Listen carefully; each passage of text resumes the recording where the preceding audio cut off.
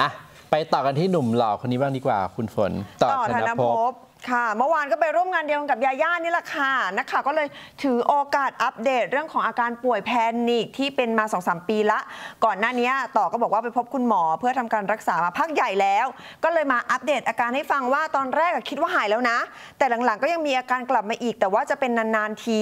บางทีนั่งแต่งหน้าอยู่ดีก็เป็นฮะคือต้องบอกว่าแพนิคมันคืออาการแบบกลัวหวัดกลัวเหมือนระแวงกลัวตายหรือว่าอะไรอย่างเงี้ยอืมมันแล้วแต่อาการว่าจะเป็นรูปแบบไหนอ่าใช่ อาจจะมีเรื่องของความเครียดความกลัวกลัวที่แคบกลัวเออบางคนเออกลัวตายกลัวในที่มืดในที่เอออะไรแคอย่บๆบางคนก็เป็นลักแล้วแต่ลักษณะการกลัวนะว่าจะเป็นยังไง ซึ่งตอนนี้ก็ชินชากับอาการที่เป็นแล้ว รู้สึกว่าถ้าเริ่มคุมไม่ได้ก็จะลุกออกไปข้างนอก อยู่กับตัวเองแป๊บหนึ่งยอมรับว่าตอนที่อยู่กองถ่ายอะมีอาการอยู่หลายครั้งเหมือนกันนะ แต่ก็พยายามไม่รู้สึกตื่นตูม ซึ่งตอนนี้ไม่ได้อยู่ในขั้นที่ต้องใช้ยาละ ไม่ได้ไป follow และแค่ใช้สติอยู่กับมัน แล้วก็รู้สึกว่าสิ่งที่เป็นเนี่ยไม่ใช่ปัญหาของชีวิต ไม่เหมือนกับสมัยที่เป็นแรกอืมๆตอนนี้วิธีก็คือฝึกสมาธิไปเรื่อยๆ พยายามทำความเข้าใจว่ามันคืออะไร มันมาเดี๋ยวมันก็ไปอ่าต่อบอกว่าอาการของตัวเองส่วนใหญ่อะจะเริ่มจากหัวใจเต้นรัวเหมือนจะหลุดออกมา รัวจนตัวสั่น เวลามีอาการแบบนี้ก็จะรู้ตัวแล้วว่ามันมาละมันมาแล้วแพนิคแล้วเออก็ต้องพยายามคุมสติพยายามที่จะไม่กลัว เพราะถ้ายิ่งแพนิคยิ่งกลัวอาการจะยิ่งหนัก ก็พยายามทำความรู้จักเขาต้องอยู่กับเขาให้ได้ แม้จะไม่อยากเป็นเพื่อนด้วยก็ตามเอออมถ้าแพนิคอยากมาเป็นเพื่อนเราก็ต้องยอมรับถึงการมีอยู่ของเขาให้ได้เอออะไปใช้ฟังสติมาช่วยนะ ไปฟังเสียงต่อกันค่ะ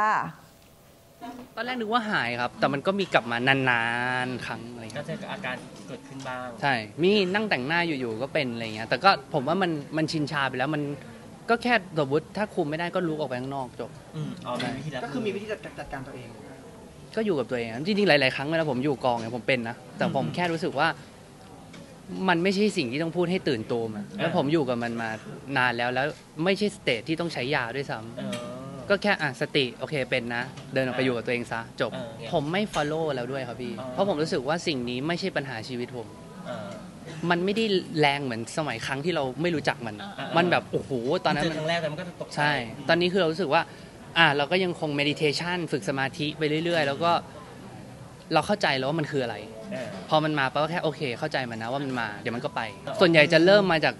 ของผมมามาจากใจเต้นที่มันรัวแบบอีกจังหวะรัวเหมือนจะหลุดออกมาอืม ใช่อะไรเงี้ยเหมือนแบบรัวจนตัวสั่นนะฮะเอออะไรเงี้ยก็จะรู้ว่าอ่ามาแล้วอะไรเงี้ยครับเพราะผมรู้สึกว่ายิ่งแพยิ่งแพนิคมันยิ่งไปกันใหญ่ คือกลัวปั๊บก็คือน่าจะเสร็จอะมันก็ยิ่งหนักอะไรเงี้ยครับเหมือนเราพยายามไม่กลัวมันต้องรู้เท่าทันเขาไม่ได้พยายามเลยครับ ก็แค่ทำความรู้จักไปเรื่อยๆว่าอ๋อคุณเป็นยังไงคุณมาได้รูปแบบไหนบ้างไม่รู้ว่าผมผมแค่รู้สึกว่าผมพยายามพูดสิ่งนี้ให้มันดูไม่แปลกเออเพราะผมรู้สึกว่าอาจจะมีหลาย ๆ คนที่คุณไม่รู้ว่ามันเป็นก็ได้อืมอะไรอย่างเงี้ยครับ แล้วก็ มันไม่ใช่สิ่งที่น่ากลัวและ มันเป็นโรคทางจิตชนิดหนึ่งก็จริง แต่มันไม่ได้แปลว่าเราโรคจิตอะไรเงี้ยเออมันไม่ใช่เราเป็นมนุษย์ปกติเออครับก็คือรู้จักแต่ไม่สนิทแค่นั้นรู้รู้จักไว้แต่ไม่ได้อยากเป็นเพื่อนไม่อยากไม่อยากสนิทไม่ต้องมาบ่อยครับอืม ก็เป็นกำลังใจให้กับทุกคนที่มีอาการเจ็บป่วยเนาะไม่ว่าใช่ทางกายทางใจต่างๆ แล้วก็แต่ถ้ารู้สึกว่ามันเกินที่เราจะควบคุมได้เนี่ยอืมพบแพทย์นะใช่มันไม่ใช่ใช่ปัญหาใช่เรื่องโรคจิตหรืออะไรนะมันเป็นเกี่ยวกับอาการป่วยของร่างกายเอออะหรือบางคนจะคิดว่าแบบว่าเฮ้ยเราคิดไปเองหรือเปล่าเราคิดมากหรือเปล่าเราเครียดหรือเปล่าอะไรอย่างเงี้ยบางทีมันเกิดจากสารเคมีในสมองมันหลั่งผิดปกติใช่เราคิดเหมือนแบบว่า เราไม่ได้อยากเป็นหรอก แต่บางทีที่มันคิดที่มันเป็นแบบนี้เป็นเพราะว่าสารเคมีในสมองต้องรักษาแพทย์เอ้ยรักษา ต้องพบแพทย์ไปทำการรักษากินยาอะไรก็ว่าไปนะคะ